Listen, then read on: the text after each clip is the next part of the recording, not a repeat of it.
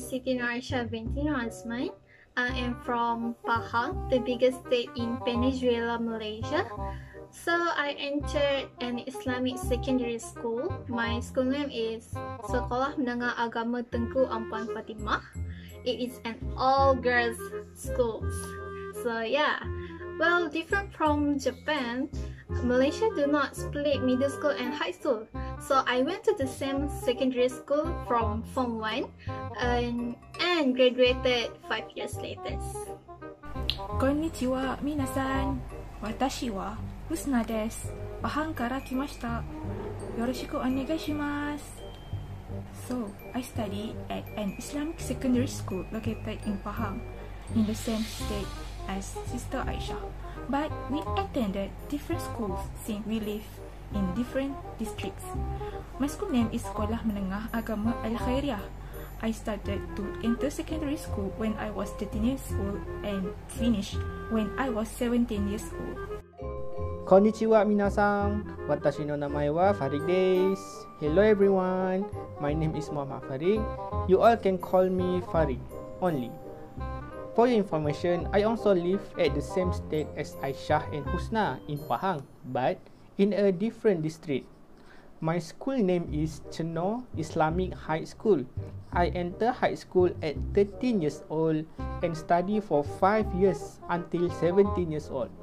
For your information, I stay at the hostel during my high school because my house and my school so far away. That's all For my information, yoroshiku. Hello, konnichiwa minasan. My name is Muhammad Khatami bin Azizan. You guys can call me Ami. I am from Kota Baru, Kelantan. I studied at Sekolah Menengah Agama Ma'arif, uh, which is an Islamic high school. My school is located at Besar Terengganu. It is a known fact for Malaysian uh, that Kelantan and Terengganu are neighboring states in Malaysia. The distance uh, between my home and school is almost 63 km. But I decided to stay in the school hostel to continue my studies at high school. Hello, konnichiwa. My name is Ahmad Nidal Helmi bin Nasir. I am also from Kelantan, the same state as Khatami, but I live in Bachu. I went to College Science Nurul Aman and Islamic High School in Kota Baru, Kelantan. It is an all-boys school. The school location is pretty far away from my hometown. Despite the distance, it is not a problem for me because my school has provided dormitories for all students.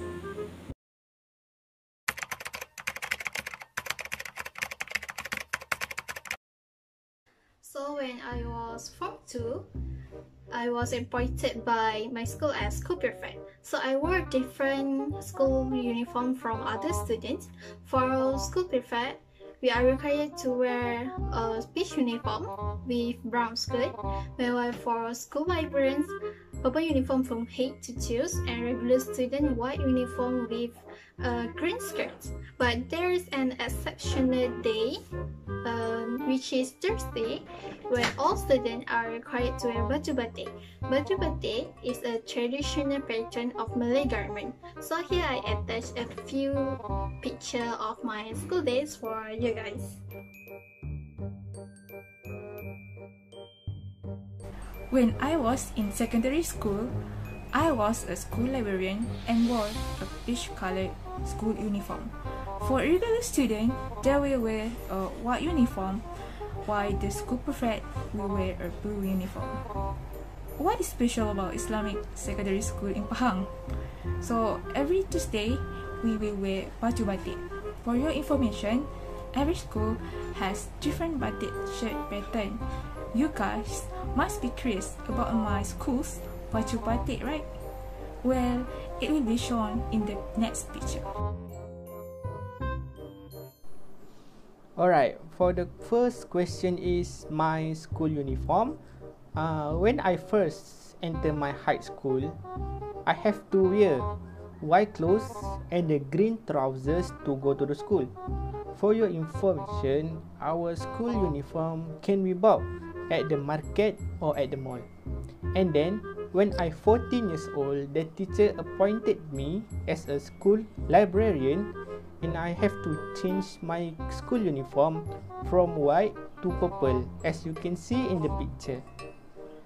In my high school, we have different types of uniform and clothes that should be worn according of the day such as Monday and Tuesday I have to wear purple clothes. For Wednesday, I wear sport clothes. And as this picture, and Thursday, I have to wear batik clothes and for Friday, I have to wear traditional clothes known as baju Melayu as you can see. And with all this uniform and clothes, I have to wear songkok at the top of my head. In my school, regular students are required to wear white clothes, white pants, and black shoes. I wore these clothes during the four years since I studied there. However, I managed to hold a position when I was 17 years old. Due to that, I had to wear yellow clothes uh, with black pants as I became a prefect of Da'wah. The position's responsibilities include consulting other students on Da'wah. Aside from the color of clothes, there were also other options which are blue and green. The blue clothes represent the school prefect in charge of the school discipline section while the green clothes uh, represent the school librarian. When I was in high school, the theme of my school uniform was white uniform. All regular students were required to wear white uniform as well as white cap. Meanwhile, for dormitory students, as my school is a boarding school, they were required to wear white uniform too, but a blue cap. As for librarians, they were required to wear a purple uniform with white cap. When I was in Form 2, which is 14 years old, I became a prefect of Da'wah. I had to wear white uniform and a green cap. And then my school appointed me as a school prefect.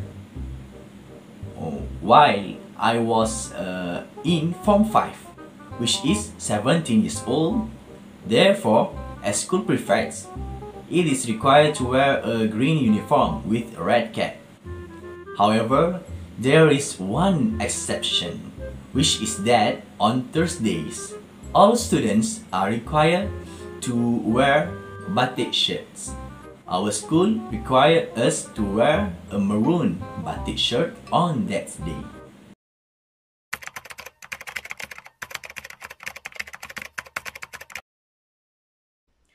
Uh, well, the most memorable school rules that I still remember until now is we are prohibited from wearing makeup.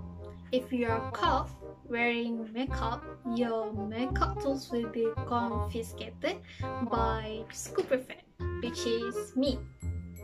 Secondly, I learned that Korean high schoolers can wear makeup to school, but it is a big no for most high school in Malaysia except for private school.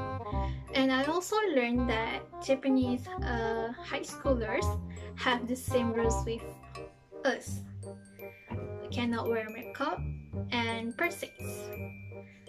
Uh, the second rules that I still remember is we are compulsory to bring Al Quran to school our own Quran to school because uh, every morning before assembly we will have a Quran recitation.